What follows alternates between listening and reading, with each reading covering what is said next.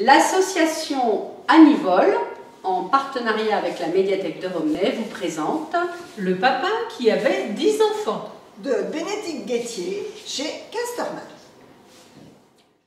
Il était une fois un papa qui avait 10 enfants.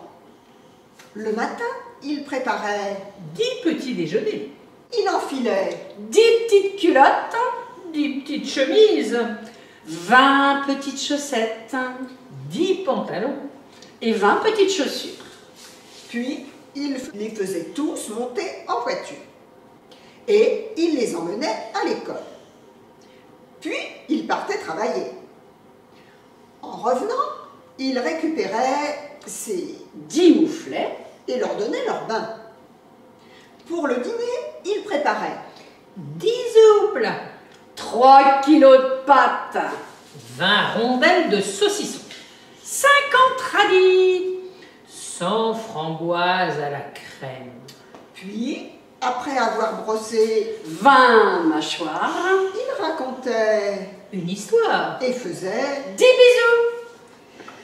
Le soir, en secret, il se construisait un beau bateau. Les 10 petits. furent le bateau fut achevé. Mais le papa comptait partir seul pendant au moins 10 mois. et il confia ses enfants à leur grand-mère. Le premier jour, il se reposa. Il pêcha.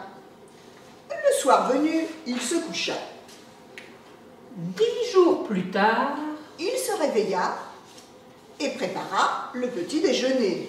10 petits bols, 10 petites cuillères. 10... Alors, il fit demi-tour.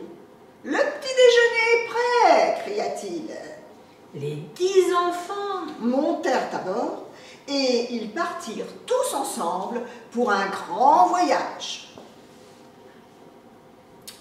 Est-ce que ça